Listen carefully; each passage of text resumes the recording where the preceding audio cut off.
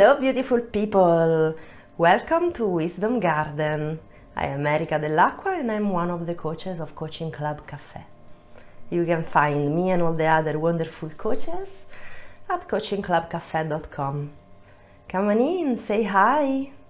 Please tell me you're there in the comments. We have a special episode.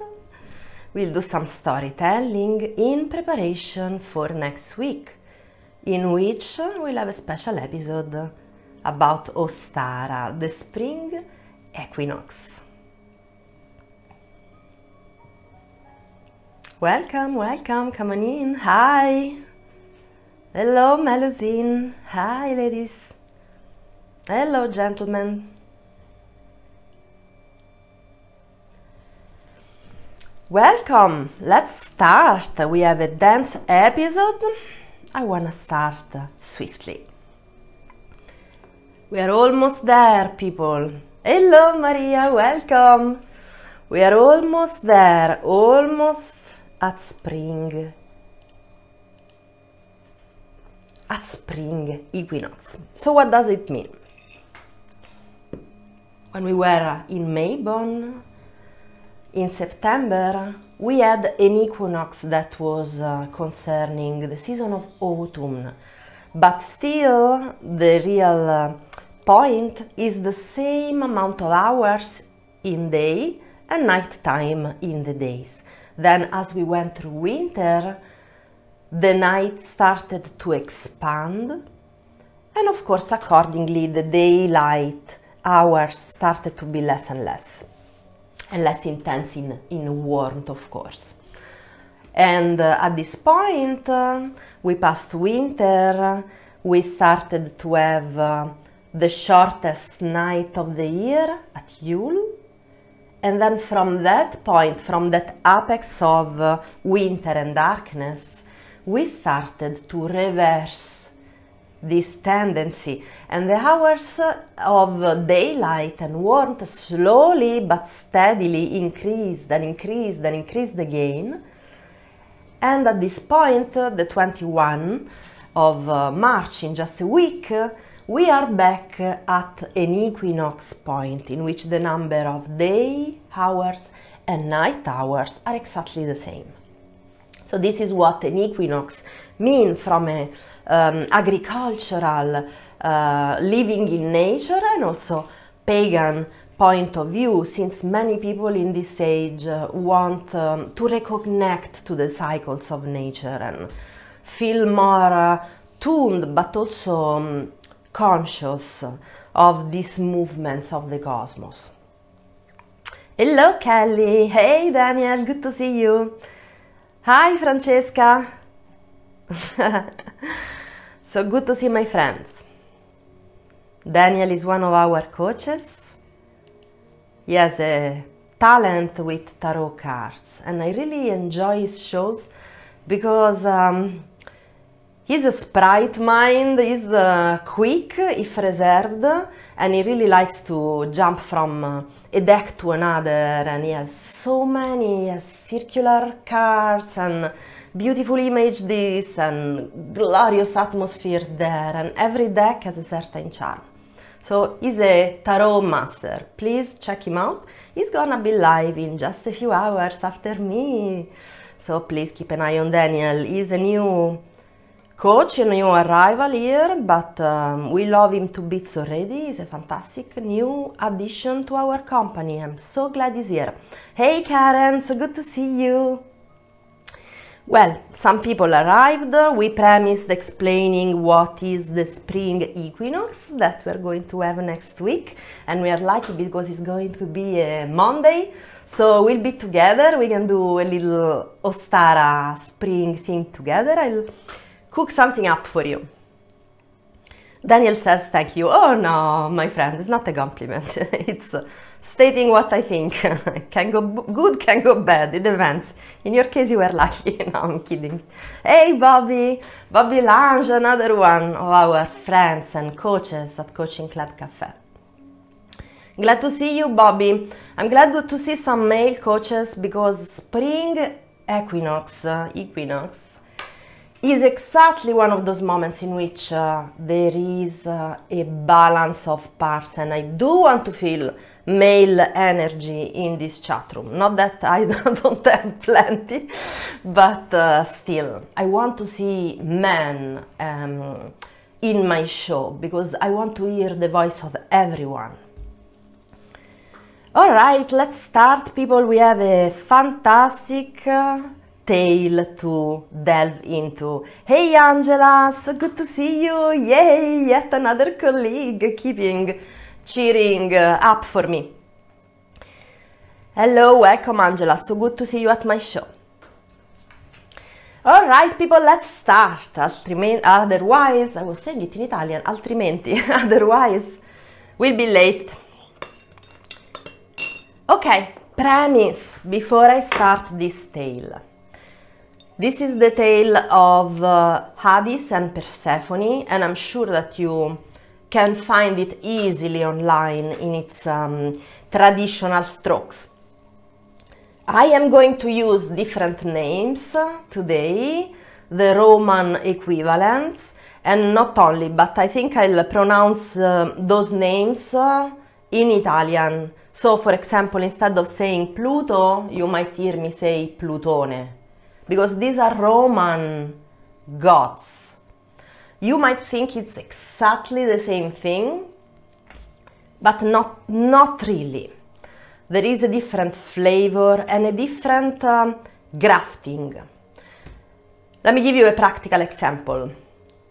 Persephone in Greek tradition She's this maiden, she's the daughter of uh, the goddess of harvest and agriculture. In Italy, though, when this um, view of these two goddesses arrived, there was already Libera, that was the goddess of spring, daughter of Cerere or Ceres for you English speakers. Libera was, um, it means free, and she was a young goddess of uh, fun, happiness, uh, careless spirit, and uh, so much that she was associated with wine. She was one of the goddess of wine. Wine in ancient Rome was strongly related to happy times and um, spending time with friends and pleasures of all sorts. So keep this detail in mind our Proserpina, which is uh, the Roman name of Persephone, was um, born, developed out of Libera, a young goddess of happiness and freedom of heart. A hippie girl, I like to think, a daughter of the flowers, literally. So that's why I want to call her Proserpina uh, and not Persephone because I know what I'm doing. I'm calling uh, specific quality of specific gods. And since we are talking about names, Proserpina, it's um, a name that comes from proserpere, which is a Latin verb that means um, to grow, to creep like a vine. So see, it's um, again in her name there is already a hint that she's uh, the new green leaf, she's the spring. All right, let's start. Hey Viviana, welcome, welcome.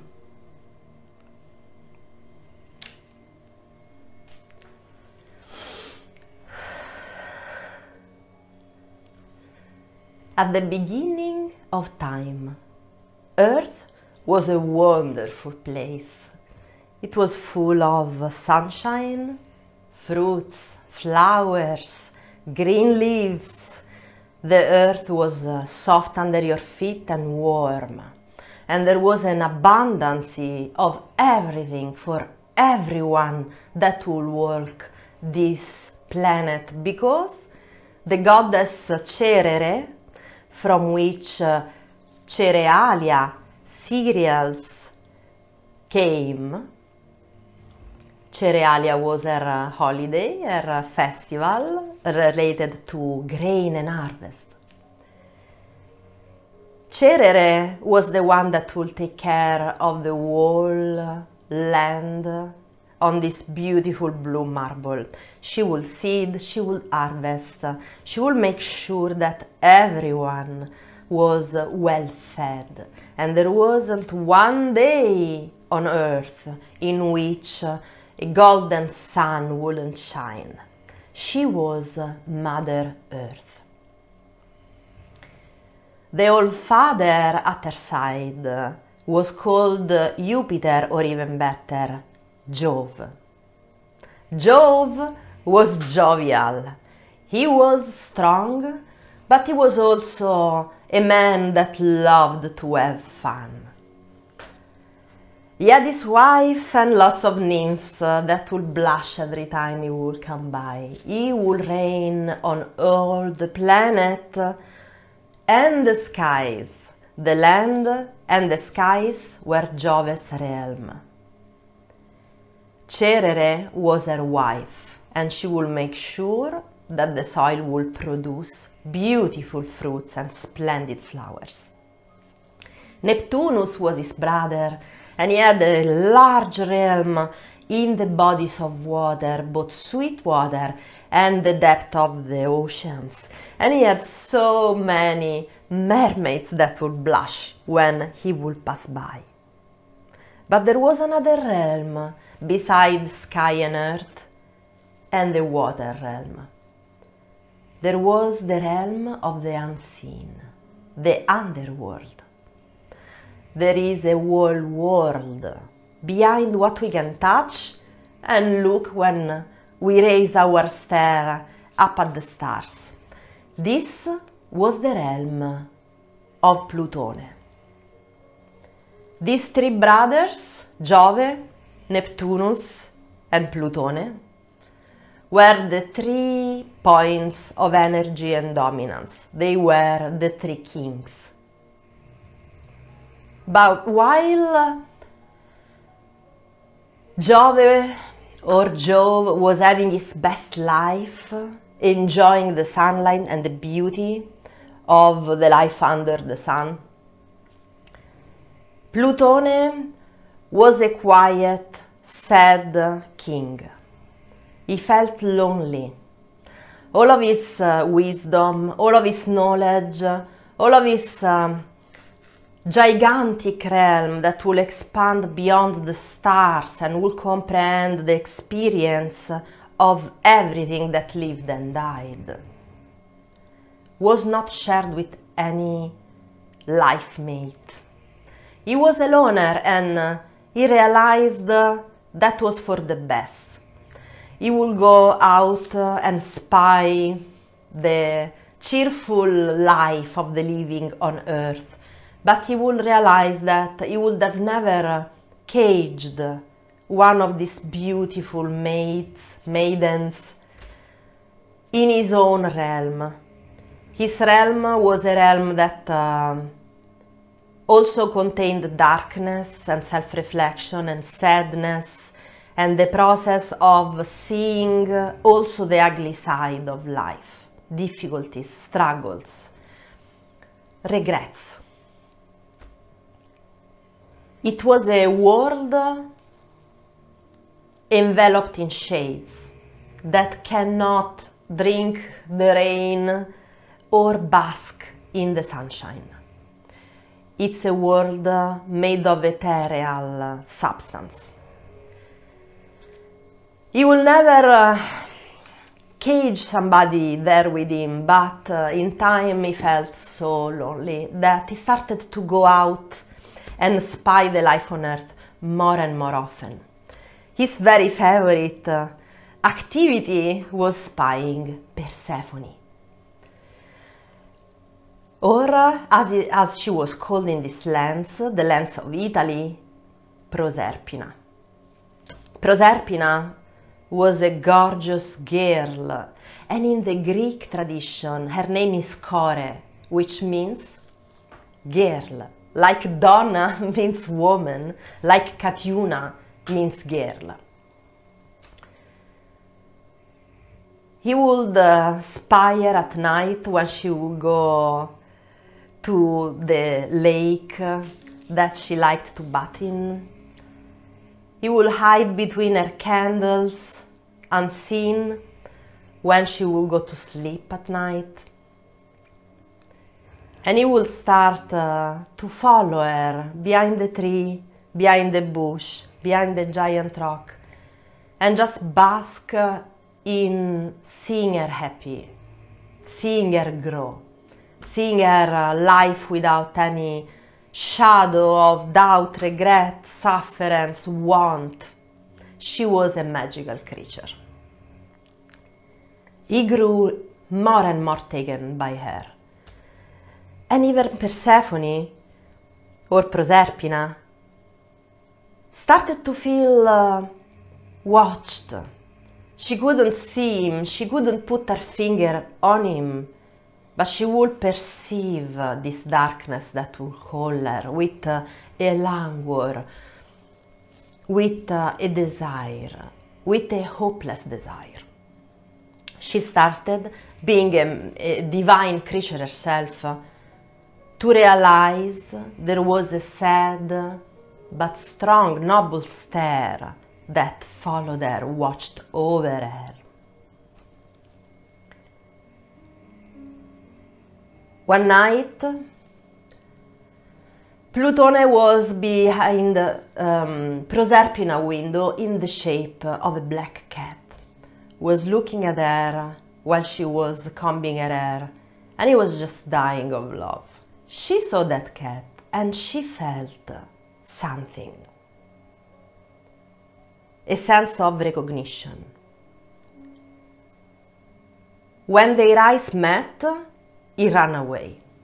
He couldn't face him, this giant dark prince, couldn't face the innocence in the gaze of this girl that was starting to be aware of his presence.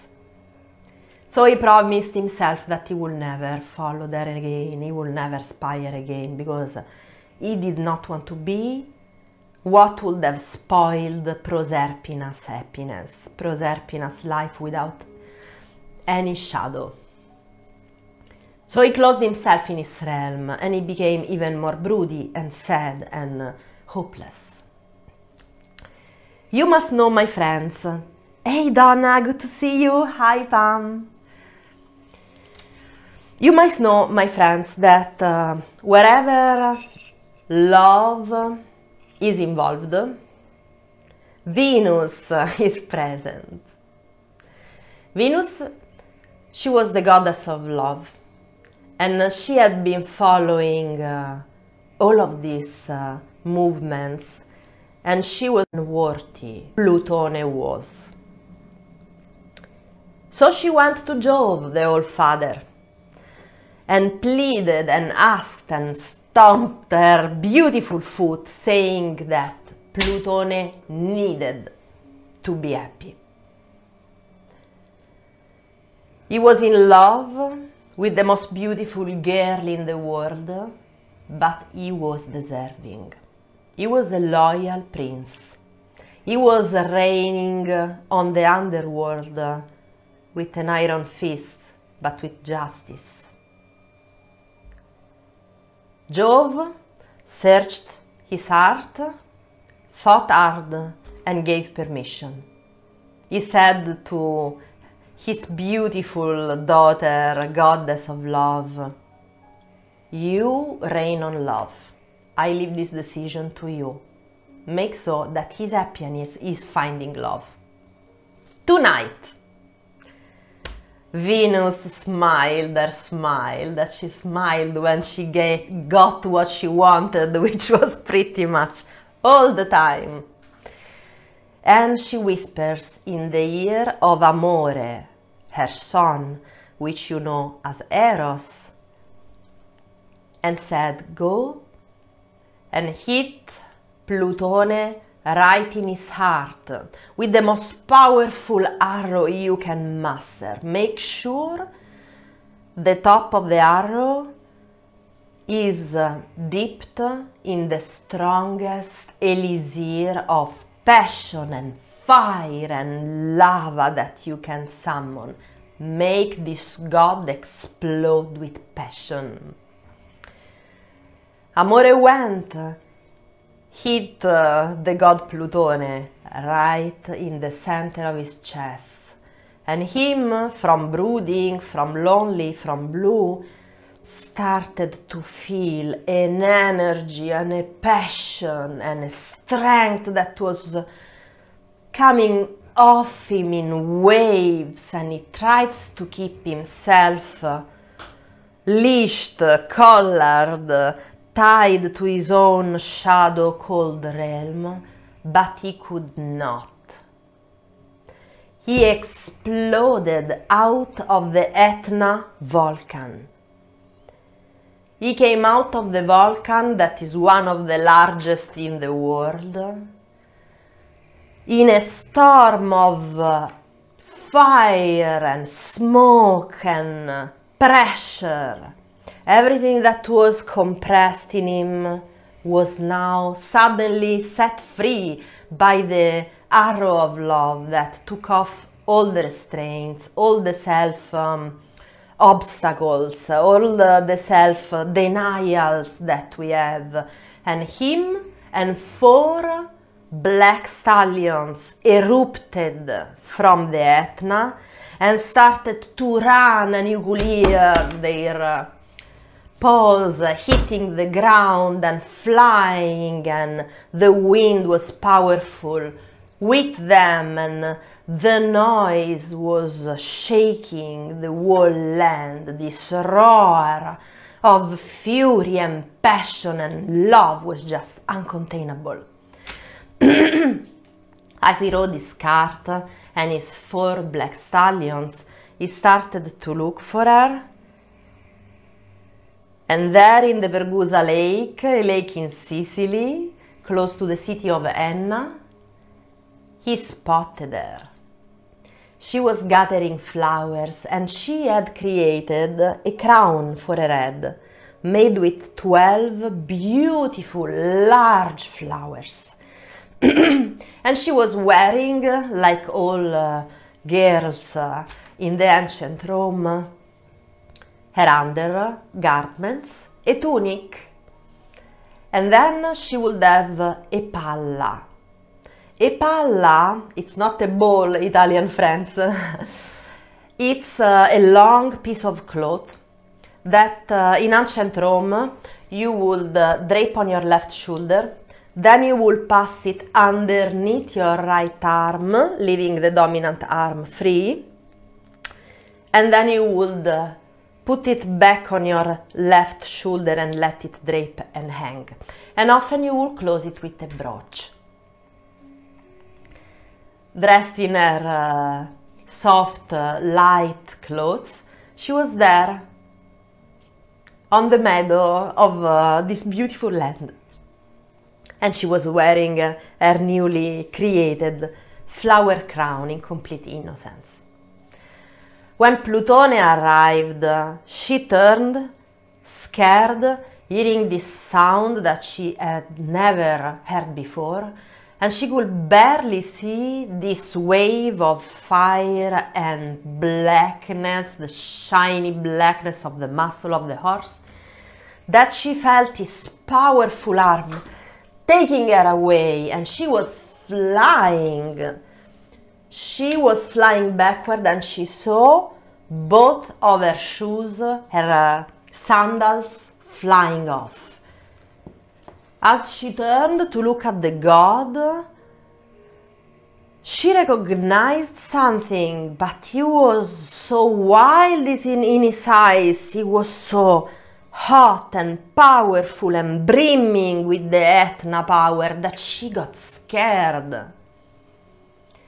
She started to push away from Plutone in sheer fear, and he could not let go of her. He kept pulling her and pulling her, and her brooch broke, and he, and he flew off with her shoes lost in the meadows of earth. As soon as the brooch was broken, suddenly her whole palla flew off. Her whole, her whole shawl flew off. And she kept uh, fighting the grappling of the god, and they were almost wrestling, and she could feel his fingers deep in her flesh, holding her tight with a certain gentleness, but also with that possessivity.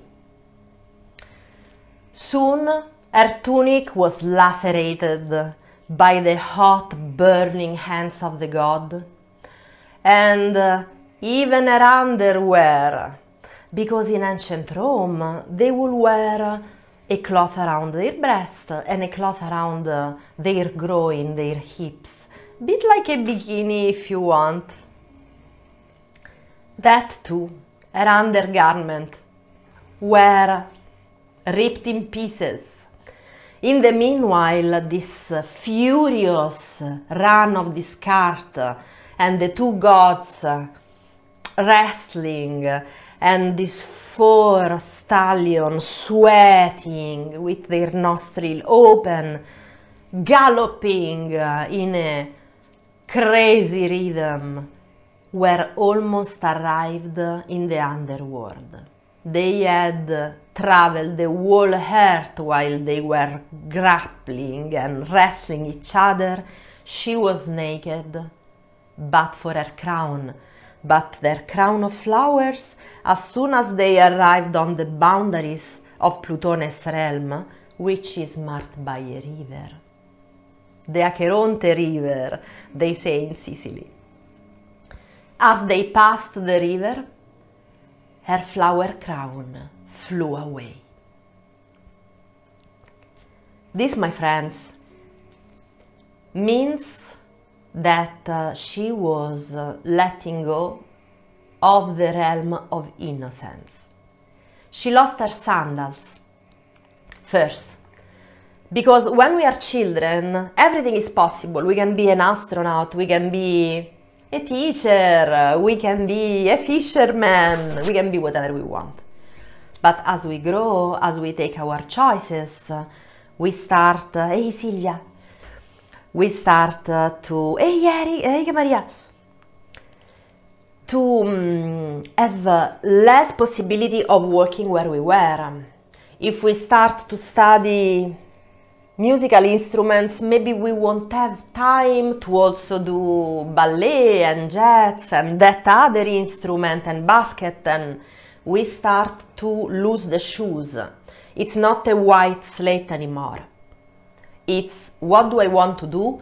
I start to draw on the white sheet as I grow. And the more I draw, the more it's not a white sheet anymore. You lose the possibility of doing everything but if you don't take it, you'll do nothing. Mm? So that's why she loses her shoes. Then uh, she loses her brooch. Her brooch is decoration. When uh, we will go in the underworld, either by dying or uh, by reflection, whatever is ornament, we don't need. you know, you don't need lipstick uh, to be with yourself and examine what you did wrong, how you were maybe in deficit, maybe you weren't loyal, maybe you didn't say the right thing and you said only what was good for you. Whatever is what you have to face in your underworld. The decoration, the gold, the brooch, that uh, is ash there means nothing. It's only ridiculous. Then she loses her palla. Her palla is a cape. It's something that covers your shoulders. It's something that they could use uh, even as a hood. So you have no hiding places when you go in the underworld. You can't uh, cover yourself with your tricks with your fake personalities and everything we do in uh, the under the sun world. The underworld is a place of sincerity in which if you want to be safe, uh, you have to be worthy, you have to be honest, you have to be brave. Then she loses her tunic. What's her tunic? Our clothes are what we want the world to see us as. When you lose your tunic, you can't be catalogued anymore by what you like or what you do for a living, for example, which is one of the first things that we ask each other in a social situation when you meet somebody, oh, what do you do? You know? Because in a way, we are what we do. Oh, I'm a doctor. Oh, I'm a dancer. I'm a psychologist. You take off the tunic and there is no outer skin anymore. It's only you, soul you. That's why she loses her tunic. She loses her uh, undergarments. This is a symbol of giving yourself. You have to imagine Plutone is ripping it off from her, but she's also increasing this effect by pushing away the darkness or Plutone. So even if you rebel, when you have to face the king of the underworld, there is nothing that you can hide, not even your own sex, your um, most uh, inner temples, your most hidden thoughts.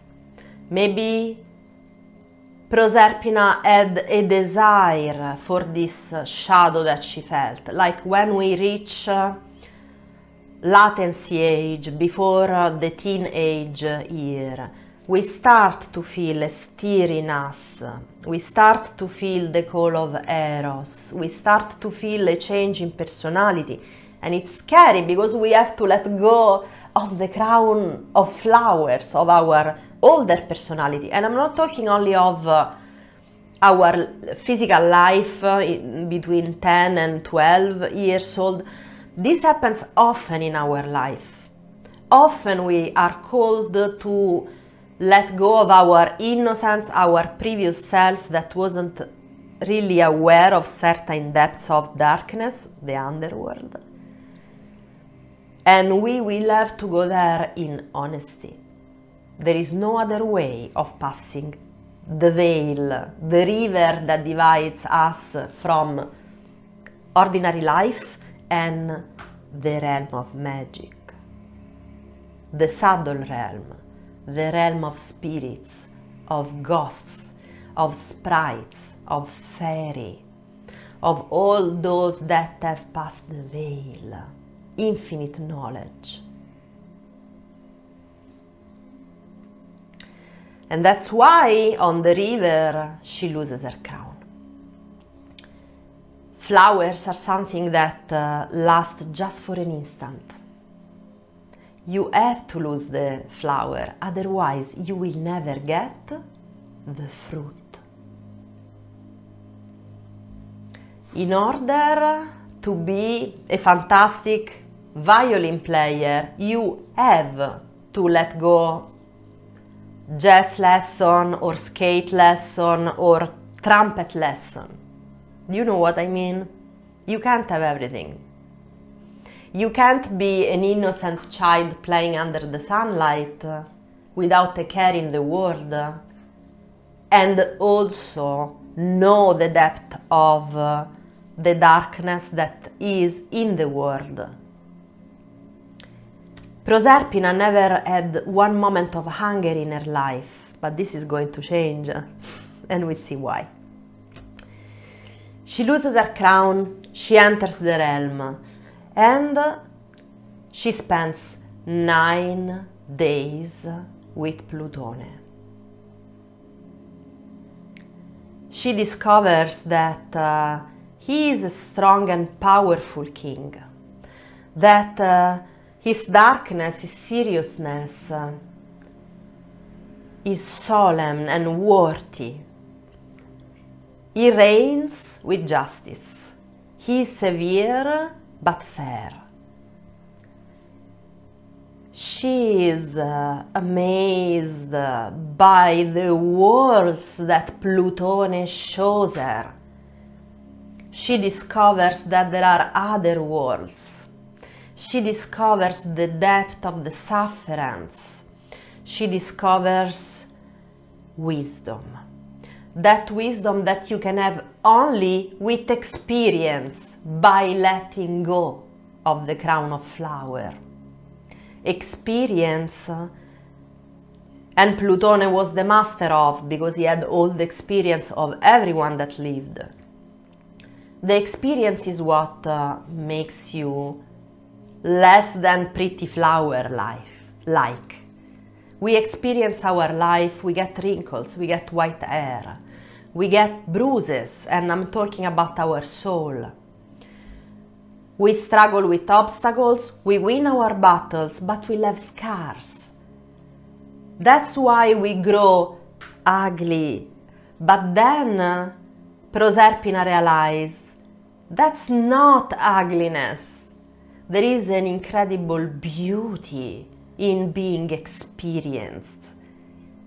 And you have to renounce to being just a beginner, just a child, just somebody with a blank sheet in order to be an experienced one, a consumed artist, musician, human watcher, witch, priest, anything.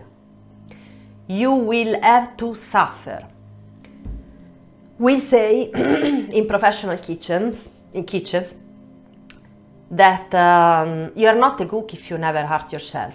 It's impossible to work in a kitchen and never get a cut, never get a splash of hot oil, um, never uh, lift a lid and get too much steam on your face or and the same goes if you are a tailor. You will poke yourself with the needle.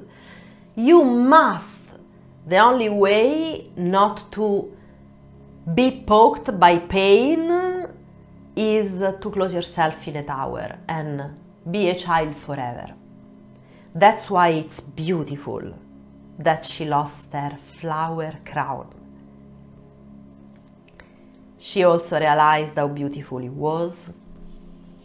She also realized that there was a, a huge charm in darkness she also felt uh, a tug toward uh, a tugging sensation toward his energy, toward the mysteries that he was teaching her, toward the realm that now she was able to see, the realm of night. And that's why I'm wearing this today, because to me this is a, scar, a sky full of um, stars.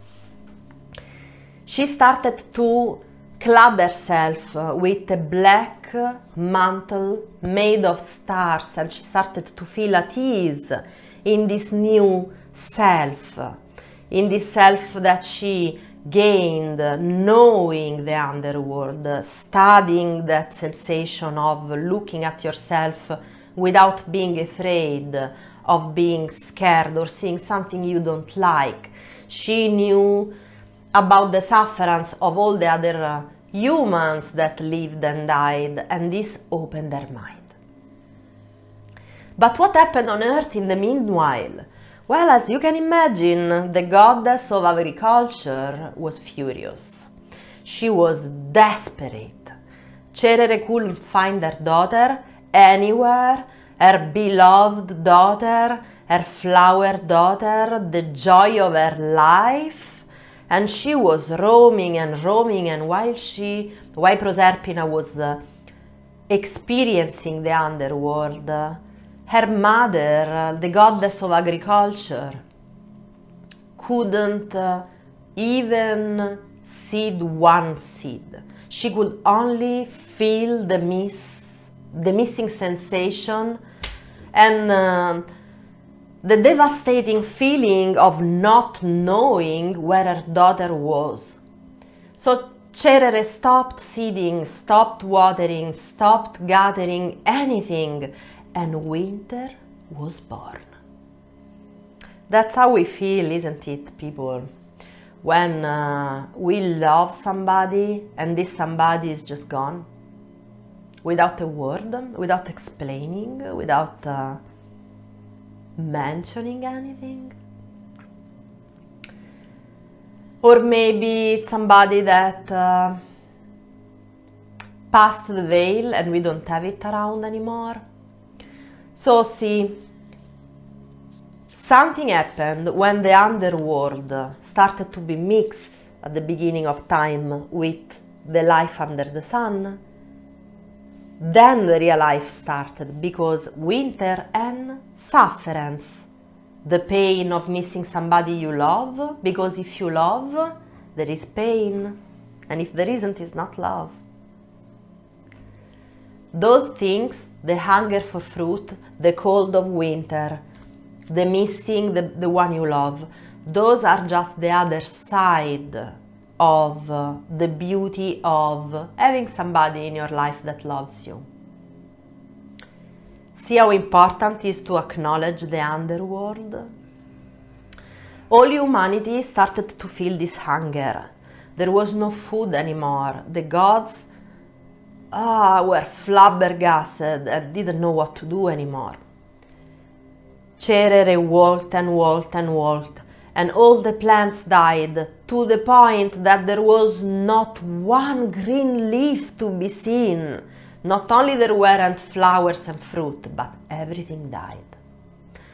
At the ninth day, she had walked the whole length of earth and she found herself on the banks of a river. And I bet you know already what river I'm talking about. Yes, that was the entrance of the underworld. And what did she find? Her daughter Flower Crown. Oh, my friends, the furious scream that the goddess of fruit and agriculture let out in the world let me explain you a little detail that probably maybe you don't know. Do you know what thesmophora is? That is an adjective, an honoring term, an appellative for cerere. It was used for Demetra or Demeter in, in Greek, but um, of course we are talking of the same goddess. So, cerere, what does it mean, thesmophora? Thesmos is law. It means that she is the one that uh, writes the rule. And we do say law of nature, don't we?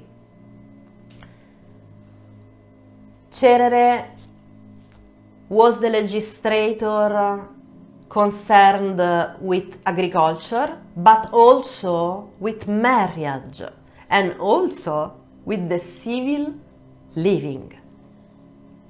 So see, the ancient ones thought that was Mother Nature that was the law giver, the one that uh, um, would take care that law were respected. So when she found uh, this uh, flower crown, she screeched in horror because it's when she realized that her daughter was taken against her will. And this is because uh, only with the approval of the All Father, only with Jove consent, someone could have dragged Proserpina past the river that is the boundary between life and the underworld. Jove saw the scene and she stood up and started to walk the earth in rage and fury and every step Cerere took she created a desert. Jove realized that he could not sacrifice the life of the whole world for the happiness of Plutone. So, being a good ruler, Jove knew that sometime you have to have the courage of going back on your word. Or even better, as a ruler, you have to adapt the rules to what you see in your realm.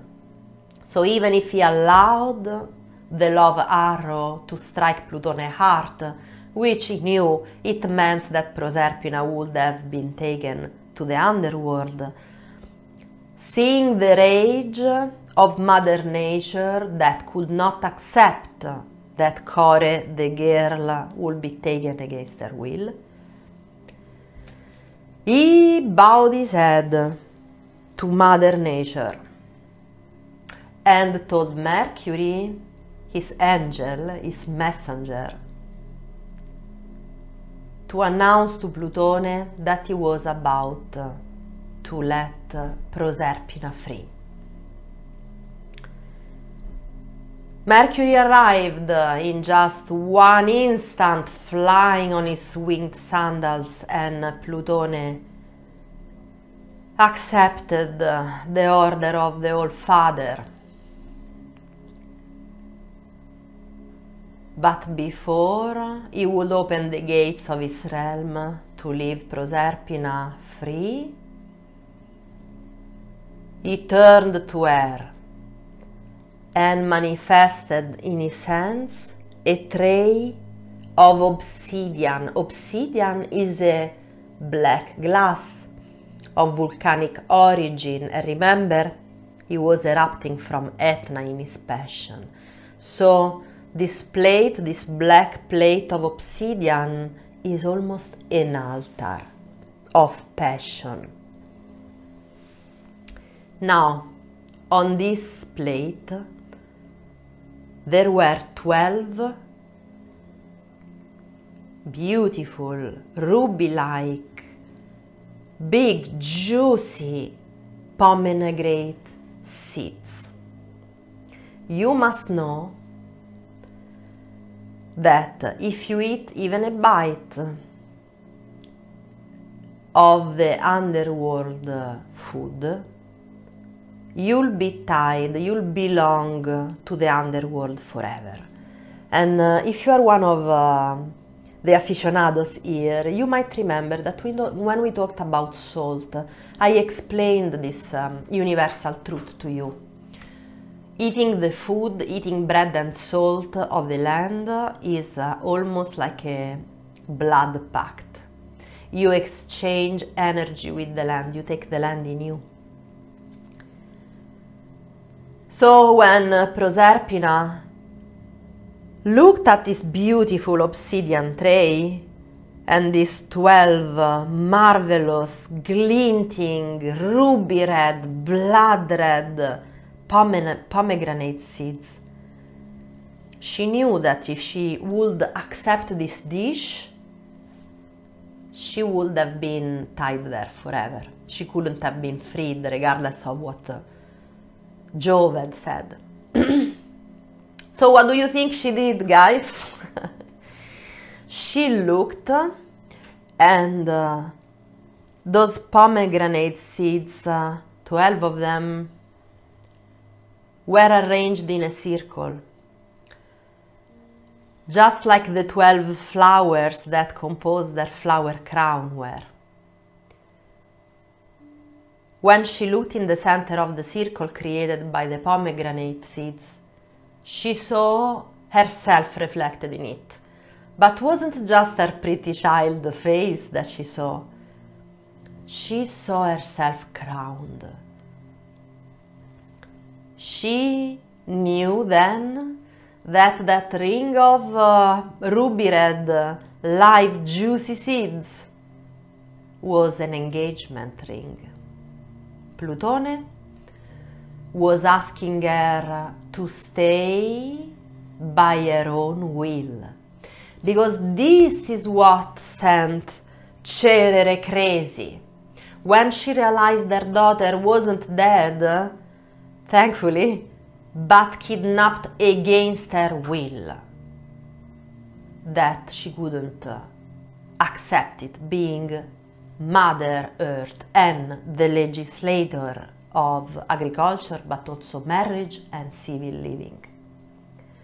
But if Proserpina would have chosen herself to delve in the underworld, to be ready to look at the ugly and the sad and to feel the pain of life, to see what it is to cry, to have regrets, to say I did wrong, to say I don't want this anymore, I want that, but I have the courage of speaking, even if it's harmful.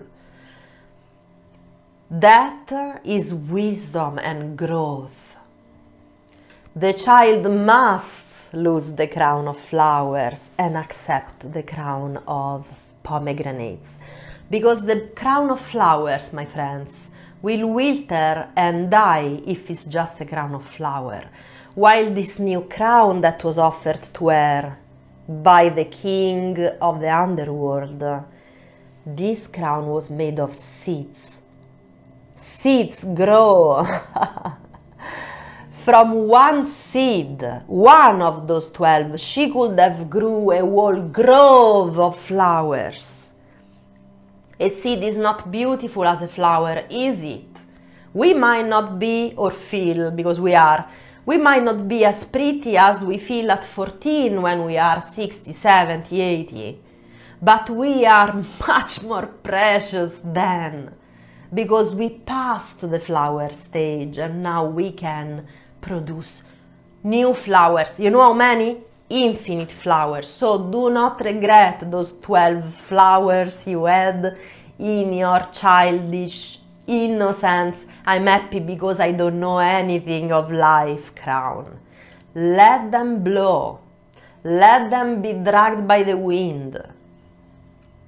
Hug tight your Plutone as he's dragging you in his cart to his realm. Don't be too afraid. Yes, you will suffer. Yes, indeed, he'll rape you. As in, he'll show you how really powerful knowledge, wisdom, and the understanding of soul and life and spirit truly is. And you will feel raped, as in uh, pushed through something that feels too much. How many times when we are kids we have a resistance, you know, to grow up? Or we just don't want to look at ourselves in the black mirror of uh, self knowledge in our underworlds because it's painful, in this sense we are raped. How many times in life uh, we must face the ugly because life, uh, if we escape too much, just place it there in front. We will face that. We will face the betrayal of uh, fake friends. We will face so much. So we better go there willing. And even if we go there struggling like uh, Proserpina did, once you are there, get all the wisdom and knowledge you can. You feel like crying, cry. You wanna scream like Cerere? Scream! But take your crown of pomegranate seeds. If she would have gone out uh, because uh, Jove gave her a free pass, she would have not have the crown. Why? She already did uh, some time there because the crown is her willpower is her willingness to be there. So it's not enough that uh, a coach like me tell you, this is it. You also have uh, to take the seeds in you. You have to see it, you have to live it. Not only listening, but taking it, understanding. Doesn't matter how bitter the seed might be its nourishment, while the flowers is just pretty look. The seeds are juice of life, it's blood of earth. When you have uh, innocence and prettiness, it doesn't nourish you. When you have knowledge, wisdom, and courage, and you want to face what's in front of you, even if sometimes, of course, you'll struggle and wrestle, then you have seeds, maybe not pretty, but generating creativity, new branches, new groves will start for you. You will feel that juice filling yourself, nourishing yourself. That's the food of life. the underworld food. So what did Proserpina do? She saw this image of herself crowned and she decided to compromise. This might start to sound like a half commitment to you, but no. This is a full commitment she took to a balanced situation. You know what she did? She started from the seed above and ate it. And she felt immediately this uh, whiplash of energy as the juice was going uh, down her throat and uh, filling her with knowledge. She skipped the second one. She picked the third. And as she was eating, she felt her body filling with a sensuality that she did not know before to enter in this realm. She was aware of every molecule of her body she started to feel this sweet juice filling her up completely. She felt it was new energy for her. She skipped the next seed and she had the next one and she started to weep. she had in that moment the awareness of the sufferance that was uh, going on in that world right then, not only in the underworld but also above. She realized that winter was dominating earth and that hunger was on earth and that people was missing her, were missing her. So we saw we said our cerere mister and that's part of loving. If you love, there will be pain. There is also this other side. When you are beloved by your mother, by your spouse, by your friends, and you are uh, conscious of your depths, your underworlds, you feel their pain like your own. You feel that uh, if you are far away, if you are hidden, if you didn't uh, express your intentions because she didn't have the possibility of saying to her mother, I need some time for reflection or to meet uh, Plutone, you know? She just didn't say. So now she was uh, finally aware of what her mother was really feeling and uh, she felt it herself. Compassion with passion. She skipped a seed and she had another one. And this time she felt strong. She felt that all the tears and all the time that she had spent down there was giving her new foundation. She started to feel new sandals at her feet. She started to feel new undergarments wrapping her beautiful, not maiden anymore, but womanly hips. And she started to feel the undergarment uh, compressing her luscious, full, ripe breasts now, breasts of a woman that can feed children, that have milk to give, like a child, a maid cannot do. She skipped the seed and had another one and now she felt the strength of having her beautiful husband at her side. Allegiances with dark creatures, but just and loyal. That's powerful, my friends. If we have the strength of getting close to people that is lonely or suffering or twisted sometimes, because life does twist us, and we put our uh, intent and powers uh, in helping them to light, consoling him in case of Plutone, without uh, withholding herself just because he was dark and she was light, if you know what I mean. Then we create bridges, we create new postures, mental and not, in our friends, in our mates, in our children, in our parents. Surrendering, not in a passive way, but in an accepting way. So, if the person you want to be has darkness in it, just don't be scared Meet that darkness. If you need help, you can ask help. Remember, there are psychologists in the world, but um, do not avoid to talk about uh, dark things. If you perceive something, speak about it. Bring out the ugly topic, the embarrassing topic, the the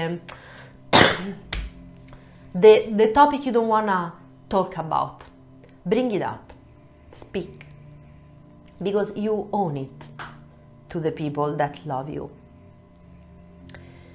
And if you do, you create new possibilities and new mates and new co leaders for your life. And she was feeling this as she had her fifth seed in her tongue, on her tongue. The power of not only the experience she gained, but of this alliance that uh, she had by letting herself spend these nine days with an open mind in this realm that was so much scaring her at the beginning. And then it grew on her and it grew on her so much that she was now compromising to spend half of her life there. So she had her sixth seed. And when she did, she was transformed she was clad in black and stars. And this gorgeous silver crown appeared on her head with 12 rubies all around it, one for every seed, even for the one she decided not to take. Because going in the underworld does not mean that we have to take everything. We can pick and choose we can and should decide to compromise, to find how deep we want to go, to know consciously how much we want to take forever in us of the dark world. She was his queen and he was her king. Jove appeared in all of his glory, in uh, high gear, with all the other Olympians, and smiled on this marriage that was happening between these two unlikely lovers, the child of spring and the king of death. From then on, when Proserpina will spend six months of the year with her husband, reigning as a peer, as a queen on his side, not as a prisoner, but as the queen of magic. Then the earth will rest, winter will come. No more work, no more food. You have to hide to cover yourself. Hades, hide. Hades means the hidden one. Did you know? That's when, metaphorically and physically often, we get to reflect. We get to stay with family and friends and talk. It's uh, the reflection versus the action that starts with the other six months in which Proserpina realms, roams like a child, like a maiden again on earth. After six months of winter in the darkness, she emerges, emerges and spring explodes. explodes. Cerere is happy as her daughter with her for a while and earth is bountiful and fruitful. You know what she does, Proserpina, when she gets out of the underworld? She starts to walk on meadows, she gathers 12 flowers and she crafts herself a flower crown. What does this mean? It means even if you get in the darkness, even if you feel the bitter bite of pain, even if you experience the ugliness of human soul, you can always go back to be your maiden or child self. You cannot be dirty unless you want to be. You can always get rid of whatever you're wearing and embrace a new side of you, which is a continuous, on a continuum. It's not another personality. We are supposed to delve in darkness, but we can't stay there, people. We can't live there 12 months a year you know 724 because uh, we have like we we delve in in an ocean we have to go back and have air. So if you work a lot with darkness in your life in your practice i want you to remember that uh, we are uh, cyclical beings.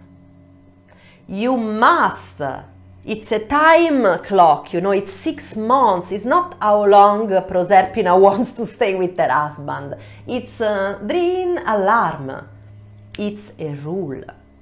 So after a while that you spend time in darkness, you own it to the world to come out of that darkness because if you don't, uh, there will be sadness and winter, and eventually, if winter lasts too long, then Earth will die. Do you know what I'm saying here? Do not be afraid to go to the underworld and know that you will have to go naked, leaving everything. But uh, remember, you can and must go back to spring. Feel again the sunshine. Don't allow yourself to steer too much in the darkness spot because you are also a creature of joy you need the joy of the spring and summer in order to delve in the depth of winter, and you need the wisdom of the depth of winter in order to truly fill your life with spring and joy. So don't be afraid to delve in darkness, don't be afraid to get out in sunshine. My dear friends, I really wanted to do some runic words, but we are so late, I cannot. I promise to do something like that next time. We'll talk a little bit about Ostara and we'll do prediction of uh, spring relationships and new beginnings for the rest of the hour. I really hope you had fun with this uh, storytelling uh, episode and remember if you want a reading from me, if you want to connect with me, if you want some coaching, a psychologist point of view on a matter in your life, if you want to delve deeper in the story about the underworld and the world of sky and land, know that I'm here for you. I will be available on coachingclubcafe.com for the next two or three hours probably. And remember, please, to check out all of my colleagues. We are a colorful bunch with uh, many different, uh, mm, different experience from each other. So I promise you, you'll find the perfect coach for you if you browse uh, among our fantastic professionals. I am Erika Dell'Acqua and this was a live show offered by coachingclubcafe.com. Thank you, have a good week.